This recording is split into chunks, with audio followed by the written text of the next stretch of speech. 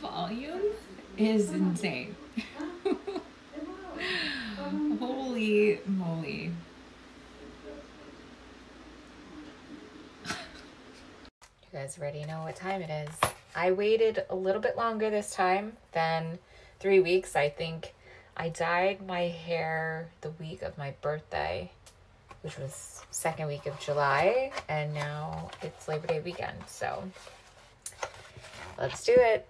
And before anyone says anything, oh, your hair is already dark. No, it's not. No, it's not. No, it's not. No, it's not. No, it's not. and my roots in the light. Auburn brown, baby. Auburn brown. Can't stand that reddish brown color. Mm. It's gotta go. Don't even ask me how I got hair dye on the ceiling. I, I don't even know how I accomplished that, to be honest. we are going to go in with my key favorite products. And you know, I have to start with Keranique.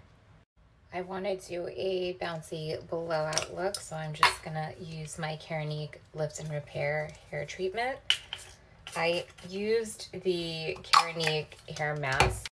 In the shower, I went in with the Keranique Rejuvenate Deep Repair Hair Mask. I use this every time I dye my hair, and also I use it once a week because I use a lot of heat and tools in my hair.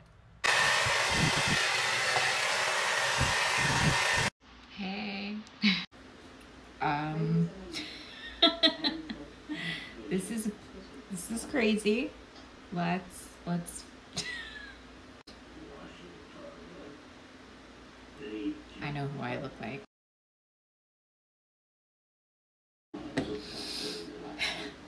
Look at this volume. Look at this volume. Look at that. Look.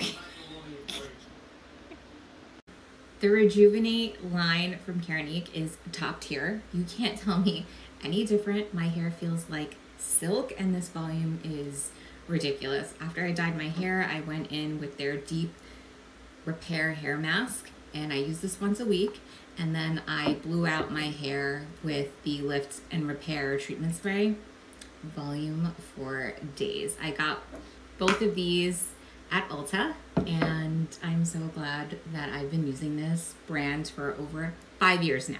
Over five years. And look how healthy and silky my hair is. I'm obsessed. Thank me later. Bye.